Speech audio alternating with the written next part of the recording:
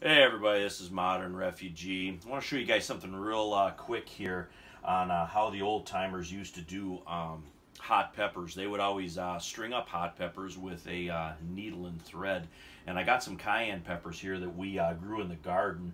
And uh, what they would do is they would wash the peppers for about a couple of minutes, get all the um, sand or anything off them that might be on them. And then they would spread them out on either a piece of newspaper or on a towel or something.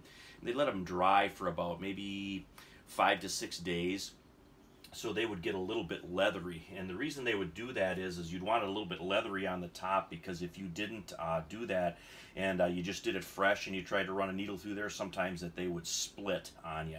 So they would let them dry for a couple of days so uh, this would get uh, kind of tough and leathery. And then they take a uh, needle, good sized needle right here. I just tied a knot on uh, this end right here of a good cotton cord. Um, this is actually crochet cotton. It's also a good thing to keep around the house. Is crochet cotton can be used for a lot of different things for uh, food, just the white stuff. Then they would take their um, their pepper, and uh, you want to go through the uh, top here where the green is on the cap, and you would just thread your pepper on like so.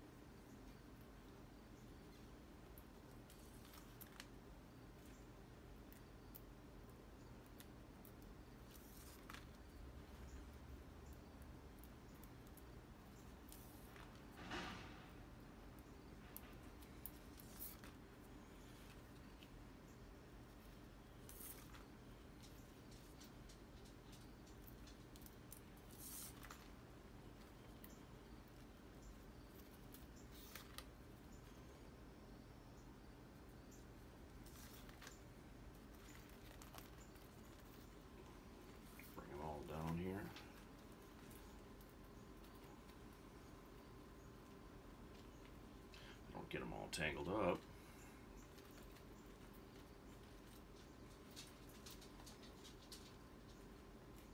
Oh, pulled one through. We'll just restring him.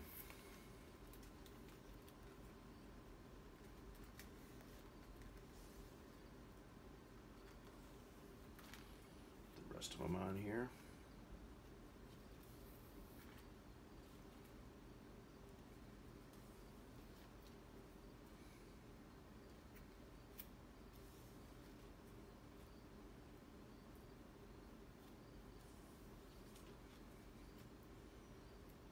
Can get a lot of peppers on a string like this so even if you have a lot of plants it's a good way and a compact way to uh, hang all these guys up uh, with your herbs.